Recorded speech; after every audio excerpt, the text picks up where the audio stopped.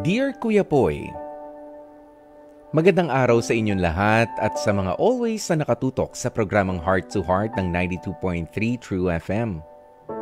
Pakitago na lamang ako sa pangalang Ali, 20 years old mula dito sa Laguna.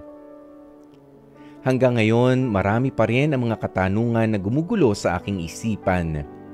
At isa na nga rito ay kung tuluyan ko na bang pakakasalan ang inireto sa aking afam o foreigner ng aming kapitbahay para tuluyang guminhawa ang buhay ng aking pamilya. Sa totoo lang, wala naman talaga sa plano ko na pumasok pa sa isang relasyon. Nangyari lang ito matapos akong ibida at build up ng tiyahin at nanay ng kapitbahay namin sa isang afam. Nalaman ko kasing ang anak ni Nanay Helen ay meron ng jowang Amerikano. Pero alam mo Kuya Poy, tuluyan na nga akong napasubo sa relasyon na yon.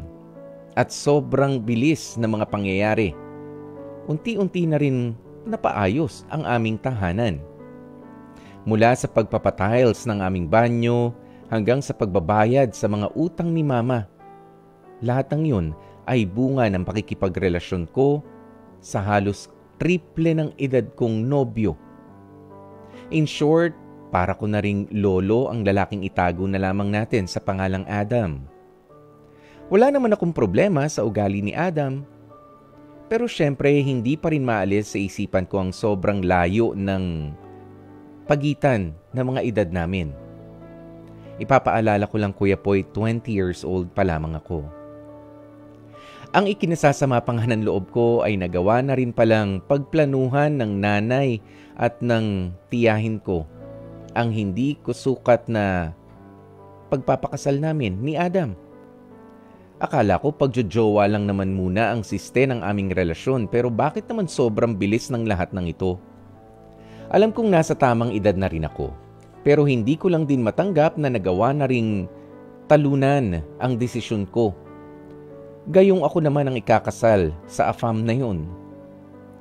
Pakiramdam ko tuloy ay inalisan na ako ng karapatan na magdesisyon ng aking sariling nanay para sa aking sarili at para rin sa kinabukasan ko. Litong-lito na rin ako sa mga oras na to. Papaano na lang kung hindi ako maikasal kay Adam? Ako na lang ang magiging kinabukasan nila nanay at ng mga nakababatang kapatid ko. Alam kong sobrang mahirap talaga ang buhay sa mga panahong ngayon, lalo na nga sa pamilya namin. Halos magkanda kuba-kuba na nga rin ako sa trabahong pinasok ko para sa kakarampot na kita para sa aking pamilya. Pero hindi ko alam kung dapat ko na lang bang tanggapin ang kapalaran kong ikakasal na nga ako kay Adam para tuluyan ng gumaan naman ang pamumuhay hindi lamang ako, kundi ang pamilya ko kahit na hindi ko pa naman talaga gusto ang taong itinutulak nila para sa akin. Kuya Poy, umaasa ako na makakakuha ako ng payo mula sa inyo at sa mga nakatutok sa inyong programang H2H. Maraming salamat po sa pagkakataong maibahagi ang aking kwento sa inyong radio program.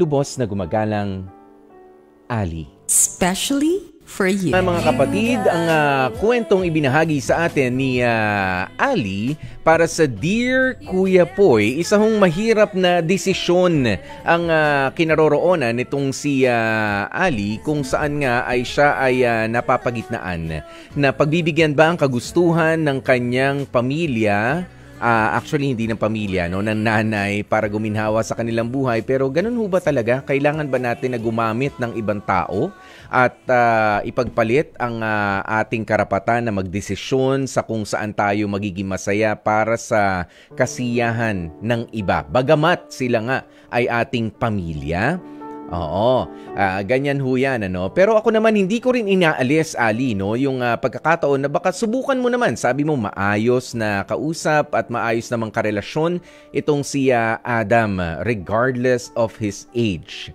Uh, baka matutunan na, uh, baka matutunan mo siyang mahalin kung mas mabibigyan lang kayo ng pagkakataon na mas makilala pa yung uh, isa't isa. Oh, dahil sa ngayon ay very limited pa lang, hindi mo pa naman kinikwento sa amin kung nandyan ba talaga siya, nakakasama nyo, ganyan. Uh, aside from the money that he can provide, eh baka naman din totoo yung kanyang pag-ibig na iniaalay para sa iyo. Bakit hindi mo nga lang rin bigyan ng pagkakataon Ha?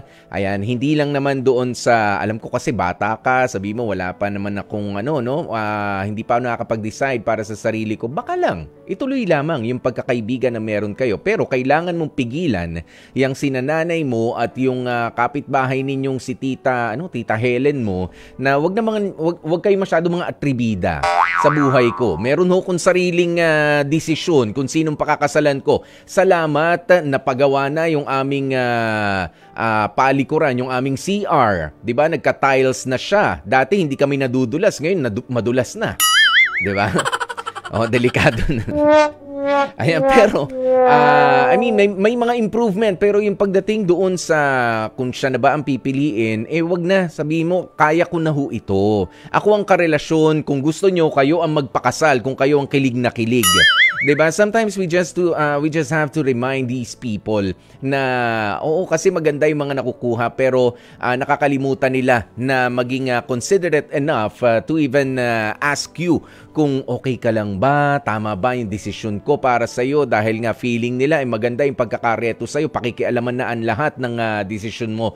Wag. Yun yung sabihin mo, hayaan nyo na lamang po ako at sa maging totoo ka sa kanila. Hindi ko alam kung pakakasalan ko na ba itong si Adam Maraming salamat na kapag-provide siya para sa family natin eh, para sa ngayon.